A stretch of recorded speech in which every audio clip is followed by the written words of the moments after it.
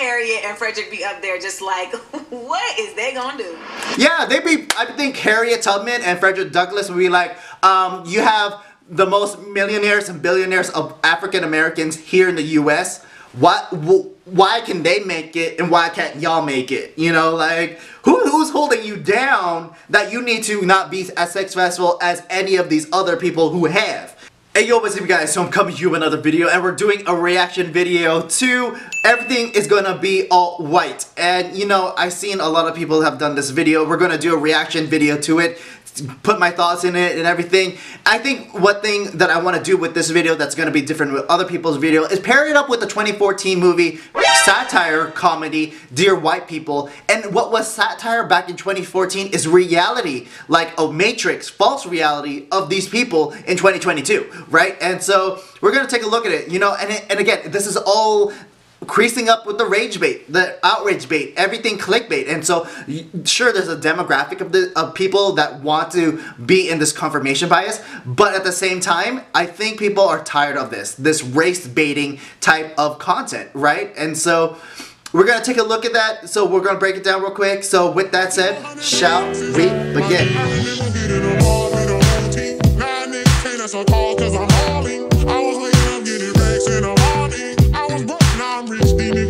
First, of course, if you're new to my channel, what is up? My name is Mitch Maverick Mitch. Hey, Mitch, Mitch, the real Mitcher, all the Mitches, and pretty much I like talking about what I talk about. So, current events, reviews, pop culture, social political commentary. Be sure to check out all those videos as you're finishing this video. I think what annoys me most about white people is when they pretend like they're the victim. What's also annoying is when they, you know, when they kill us. What is fragile about whiteness when everything has been constructed around it? So, I mean, again, other people point this out, right? And so, I think there's this, like, catharsis portion in which, again, this is made for a certain audience in which they want to be validated in their thoughts, right? And so, because really, we have come to the point where it is okay to be racist against white people, right? It, it, you don't get canceled for that, right? That's, that, that's, if if if not if that's not a virtue signal, it's it's warranted, right? And so every part of who I am has been distorted or criminalized. It's really just a bunch of white lies. Storming the Capitol. Of course, we're gonna go with the Jan 6. And then going back to, uh, what's her name? Linda Sarsour? Like, you should talk.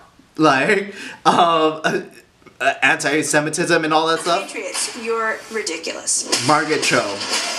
One of the definitions of American whiteness is ignorance.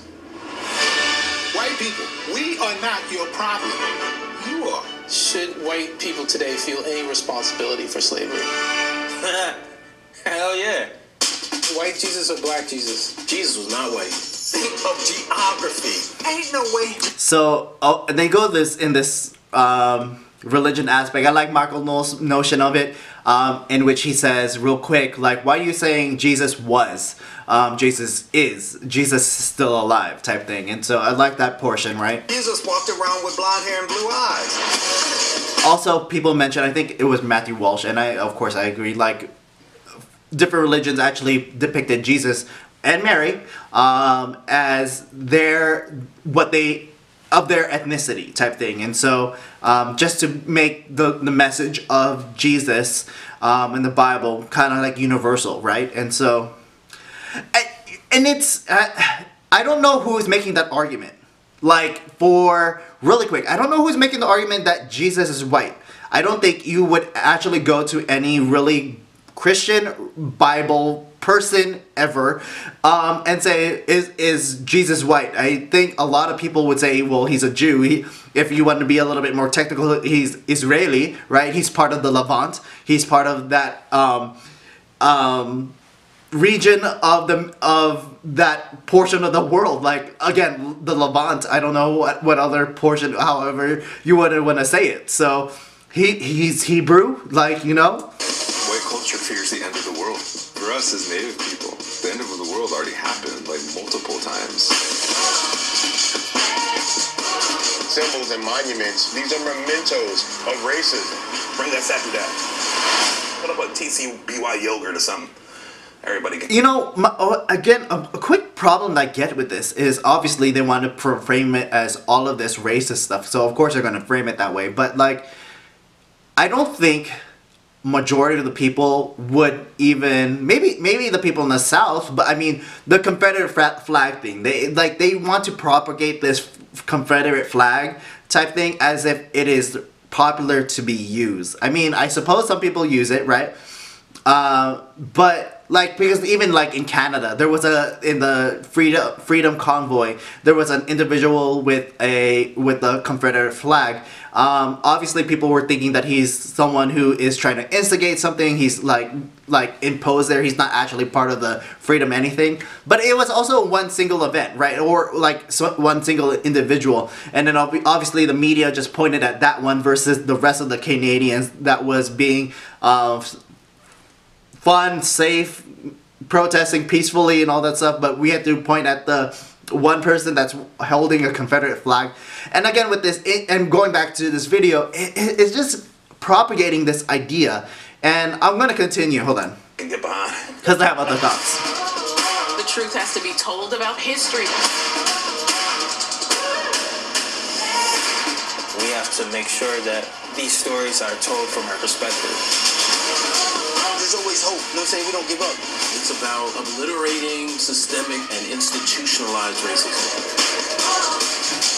I'm pretty sure there's one thing out there. I think if you have a bingo card as far as what you could say, do you want to say woke? Do you want to say institutional racism? Do you want to say confer, uh, confer, uh, confirmation bias, um, inter- internalized racism, colorism? I think there should be a bingo card.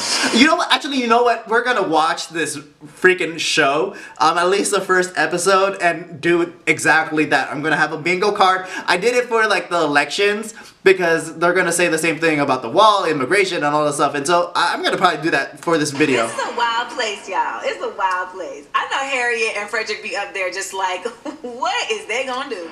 Yeah, they be. I think Harriet Tubman and Frederick Douglass would be like, um, you have the most millionaires and billionaires of African Americans here in the U.S. What? Why can they make it and why can't y'all make it? You know, like who, who's holding you down that you need to not be as successful as any of these other people who have? So, um, what the other point I, I, I was trying to bring up in all of this is that for whatever reason, and I understand there are, like, they want to keep this idea going, this racism and this white supremacy going, as if it's something relevant, which it's not.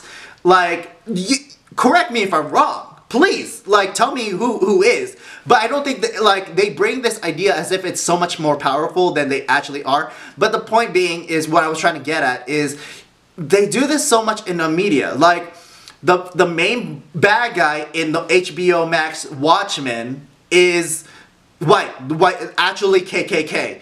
Like if you go into Peacemaker, also at HBO Max, who's one of the main bad guys? It is the KKK, like the dragon, like Peacemaker's dead, a racist, actual white supremacist. It's a it's a bad it's it's the bad guy.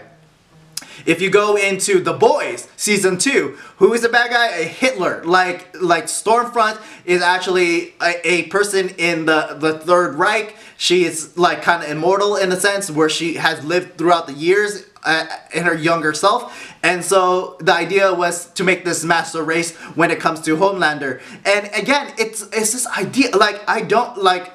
To me, it's a, a trope. You know, like just as much as there was a lot of movies using the Russians as the bad guys.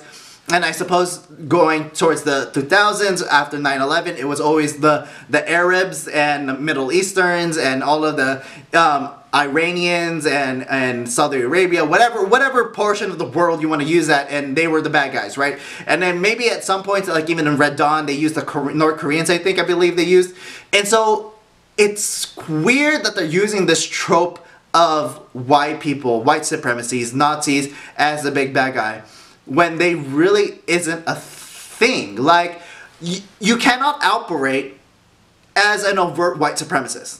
You can operate as a overt black supremacist, but it's like they don't have any power. I so I don't understand. And then you could say, well, historically they have power. I don't care about historically. I'm caring about right now. No one on the left or right like no one on the right would associate with that.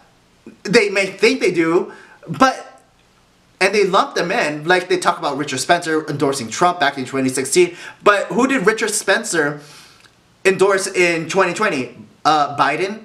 Uh, Richard Spencer actually thought you know that Trump wasn't doing good enough for the um, white people, so he went for Biden.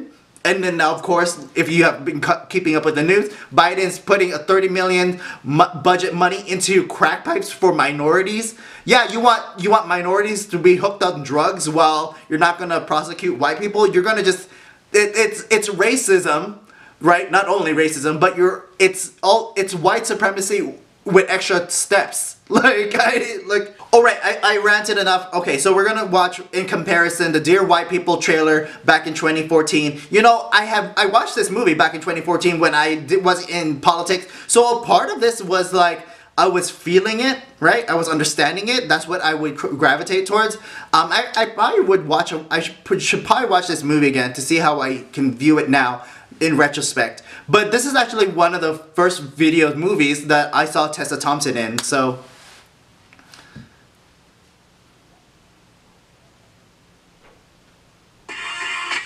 also while that plays like i remember i don't remember anything bad about this movie like um, this is before things got super woke but this is the introductions of that time period right like even other people mentioned this like jack Posobiec as far as like the glee being the en- entry point as far as this there's other factors but there's this like idea in this time period like er- the early 2010s type thing or mid 2010s only college radio station. Dear white people, the minimum requirement of black friends needed to not seem racist has just been raised to two.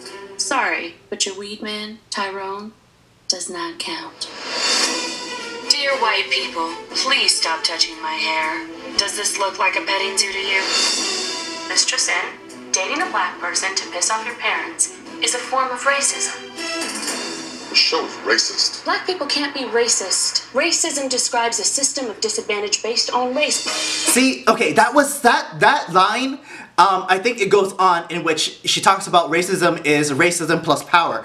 That was parody. That was satire in 2014. People actually live in 2022 believing that like black people can't be racist because like as she said, you have to be in a system of like of, of, power to become racist. And again, like when this came out, I remember it was funny at least to me at the time, right? And so um, I would want to look into this again and see how it pairs up because I'm actually I'll finish it because there's po- the, the- there's actually some um, redeeming portions in this movie, right? I don't see what the point is in blaming white folks for everything. I really don't see the issue. Never ran into any lynch mob. It'd be good to elect someone like you as school president. Someone else is running. Together, we can bring black back to Winchester. Who does Sam think she is? This like Spike Lee and Oprah had some sort of pissed off baby. How do I feel about Dear White People? It's blacker than thou propaganda from a bougie Lisa Bonet wannabe. What's also interesting with this, since it's 2014, this is barely when people were getting on YouTube, right? And so, if if it's kind of funny, like this character of Tessa Thompson, I forgot her real name, like her her her, her character name in the movie. But I mean, if she was a, if this was done in 2022, she would have a podcast. Black people scare you? I listen to Mumford and Sons and watch Robert. Okay, so one one aspect, and I, if you want to watch this movie, um, plot twist, but one aspect of this movie that I thought thought endearing, which they wouldn't do in 2022, is that this person, this character, is black, but not traditionally what you would think as black, because they, like he said, he listens to, to Mumford and Sons. He's he's gay. uh, well, I guess gay, g being black and gay in this 2022 is por- more celebrated. But in 2014, it was kind of almost seen as like taboo type of thing because you're not fitting the category. So in tw 2014, that was still kind of like iffy, right? Because there was still like if you were black and gay, it was still seen as a negative type of thing. But now it's kind of like celebrated. If if not more like you can't even be black and gay, you have to be black and trans or, or non-binary. Like by just being black and gay isn't enough. All the movies think I'm black enough for the union. I know, please. You're only technically black. Sometimes I think the hardest thing to be in the American workforce is an educated white guy. They pay millions of dollars on their lips, their tans, Jay-Z tickets because they want to be like us. I can do what I do! You wanna know why they used to call me Black Mitch? Absolutely. Nobody called you that. I, I totally forgot there was a character named Mitch. Uh, put a like in the comments for all the Mitches, you know? So.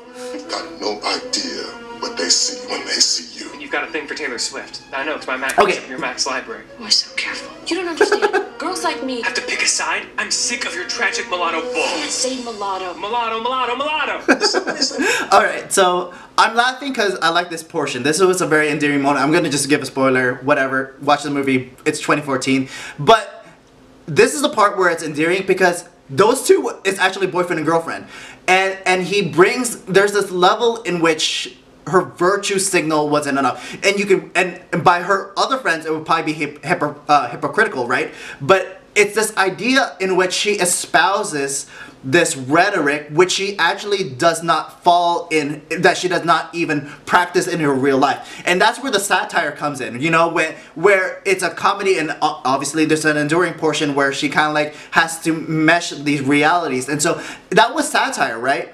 Right in in which again she espouses this virtue signal in which again she does not model in her own life. But you cannot have that in 2022 like you have to double down every single time. Like she can't this person could not exist in 2022 like you have to actively live in that world. You can't you can't you can't you can't deviate anything. She would be canceled immediately if they found out she espouses this rhetoric and has a white boyfriend right?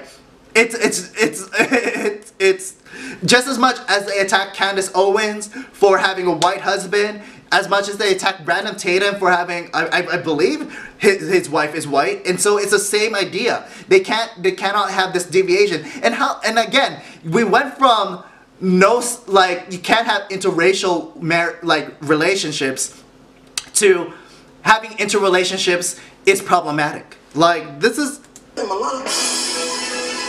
How would you feel if someone started a Dear Black People? No need. Mass media from Fox News makes it clear what white people think of us.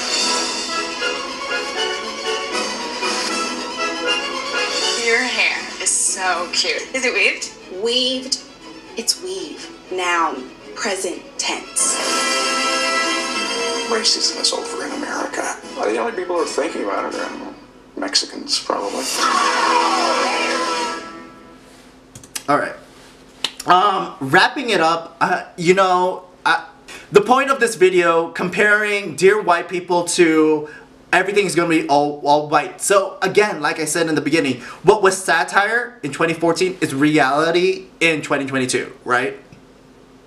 And that even more on top of that, like I said, like you, we had to double down in all of this, you know, like I, I would guarantee a lot of people do not care about this. The only people that's making waves about this movie is people on the conservative side, of course, because they think how, how racist this is, which it is. But the point being, like, is there an actual audience? And I'm sure there there will be a lot of people who would watch this. But at the but the vast majority of people, right, in the middle, I think they're damn tired, right? If you if you don't know, if you're not catching up, like even like Lord of the Rings, they're bec- it's becoming woke. You know, they're having in this world that is centered around European, if not Anglo, um, mythology is now incorporating black and Latino people. Like I, this, this is not the movie I was, I was. This is not the world that Tolkien imagined. You know, again, people, and again, I agree. If if you're gonna take like a like a one of those Chinese classic movies, why are you going to insert other ethnicities? Or, of course, they talk about like Wakanda and like why are you're going to insert white people in Wakanda, you know, like it doesn't make sense. So, lasting points, again, you know, we'll see how this movie plays. This movie being everything's going to be all, all, all white. Um, so, we're going to see how that plays out obviously this it's being downloaded to live but you can't really see it unless you have um, a different um, browser whatever and so yeah we're gonna check it out and so with I just want to do a quick comparison again with all of this like where we are in this world that we are living in and so it's all nuts and crazy so with that said thank you for watching comment below share like and subscribe and Be part of the conversation. Tell me what you think, and see you in the next video. Thanks for watching. Um, you can follow me on my Instagram at Hey Mitch Mitch, and see you in the next video. Thank you for watching. Peace, peace, peace. Be with you. Thank you.